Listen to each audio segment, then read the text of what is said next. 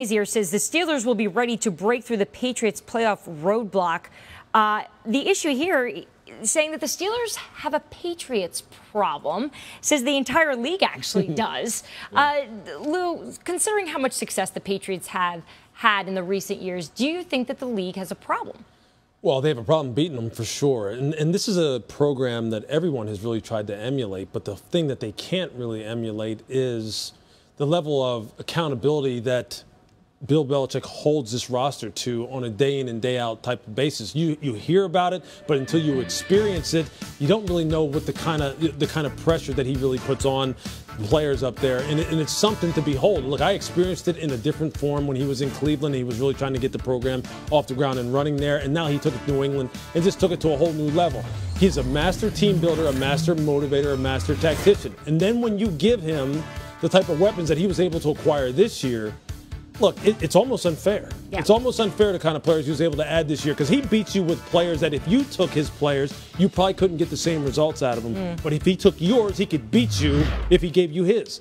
And that's just the greatest compliment you can give him, and it's it's just the way it is. And then the old Bum Phillips yeah, uh, quote like about Don yeah, Shula, I, I, I right? kind of I kind of messed no, it but it's good. It's good. You got the point. You took like three Absolutely. different phrases and put one, but I liked it. Yeah, yeah, it worked. Know? Uh, you know, so so we talk about this, but. Uh, we, we know most of the league is going to hate them, but does anyone, any of these teams, actually have a chance? Who, who, who could beat the Patriots? Yes, teams have a chance, and the Steelers see themselves as such a team. They're always in the playoffs. They, they sort of expect to run up against the Patriots in the postseason. If they can get everyone healthy and on the field at the same time for a playoff game against the Patriots, you might see uh, them possibly be the team that can knock them off because they can score with them. But uh, one game, anything can happen. But you know, the point of the matter is the Patriots are always going to be in, in the way of everyone who's trying to get to the Super Bowl. Yeah, Raiders, Chiefs, and Steelers. That's who I think is going to be able to bring them down. We'll see. Uh, Jameis Winston aiming to be elite, according to his head coach. It's our final headline here. So, Lewis, what does Jameis need to do to take the next step this year if, if we want to start using the word elite when we talk sure. Jameis Winston?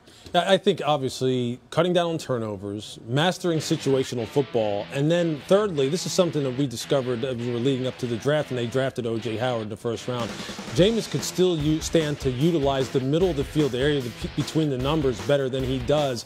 He struggled as far as completion percentage in that part of the football field, and now with the drafting of O.J. Howard, he has a guy like Cameron Brate, adding DeSean Jackson, which really just spreads the field horizontally and vertically. If he can do those things, take care of the football, be better situationally, and throw the ball between the numbers better, that's probably a good place to start. But he's already on his way. I mean, he's already on his way. A lot of teams would love to have Jameis Winston on their roster. Done a lot of winning already for mm -hmm. a guy at his stage in the league, and obviously he expects more. They wanted to make the playoffs last year. But yeah, the addition of DeSean Jackson they really do think will open up that middle of the field so the completions for Winston will be easier there. They need to figure out the run game there, but they really believe they're loaded up in the passing game and that their young offensive linemen are developing in a way that will maximize his chances. Very, very high expectations for that offense in Tampa Bay this year. I remember during free agency talking to a couple of the Tampa Bay coach, texting them, who are you looking at, who are you looking at? And all they wanted was DeSean Jackson. That was the game plan uh, as soon as that opened up, you know, and, and I even asked a couple of them, even, even at the age of 30, DeSean Jackson